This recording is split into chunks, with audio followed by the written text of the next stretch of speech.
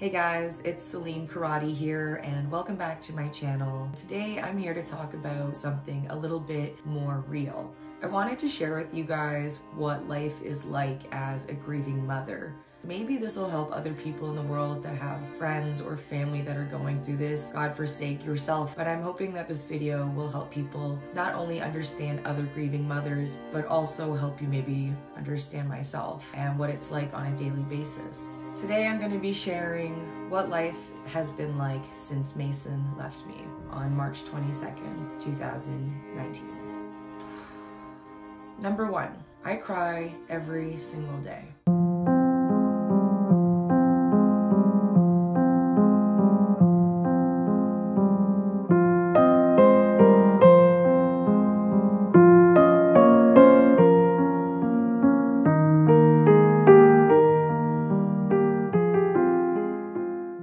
It's exhausting, but I have to do it. I don't always choose when it happens. I'm not trying to say that there isn't good in life, okay? I'm not saying every moment of my life is absolute despair. But yes, every day I break down. I actually whisper, scream, I miss you, Mason. I miss you, Mason.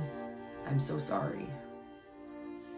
Most of the time when I have these horrible breakdowns, begging out to God that maybe one day I'll see him again, I don't know if that's how life really works. I'm very open to what the universe is and what it means. I wish I was absolutely sure of what was going to happen at the end, I really do.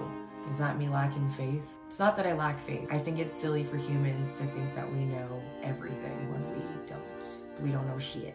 When I cry in this room here, I find if I hold on to something, it has to ground me. I have to remember that I am in this reality, I am here. But when I'm in that moment, I am so lost. All these flashbacks of my son and me and the happiness we had, even the hard times. Something I am gonna say about these big breakdowns that happen, I really did learn to be in that emotion, to truly just let it be. Don't fight it because it's going to erupt anyway. Obviously, there are times like at work where I try to shut it down and sometimes it gets the best of me. If you have the chance to let it free, let it free. Fucking scream, cry, fucking air punch. You do whatever you have to do to survive. To be honest with you, it makes me feel like I'm a crazy person. Am I a crazy person? Number two, I was kind of out of society in a normal sense for almost two years. I was on mat leave for one year, so I wasn't working. I was at home with the baby every day. Then I only went back to work for about a month and a half, and then Mason passed away. I was off for another five months because I was, I was not okay. I was just so not fucking okay. Not only did I have to get used to the idea of my son not being in my life anymore, not being able to love him like that anymore. I had to kind of relearn to go back into society. Crazy. I literally had to start all over from like the fucking beginning. One thing with going back to work or even just having conversations with anyone, being a grieving mother, I don't hear a lot of things. My mind just literally drifts to thinking about Mason or a trigger will happen. It's like a war flashback.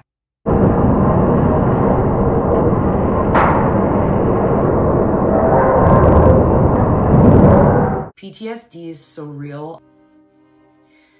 I am so sorry to anyone that has any form of fucking PTSD. It hits you like that. Triggers are a real thing. And it happens every day, guys. I'm a real person that really tries to live in the moment.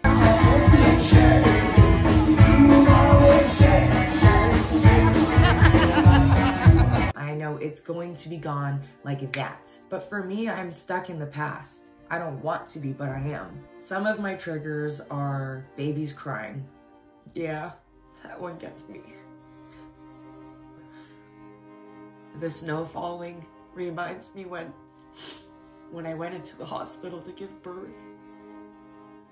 I have a coworker with the same name as my son. The first time I worked with him and I needed his attention, I wasn't even thinking. And I yelled out, Mason.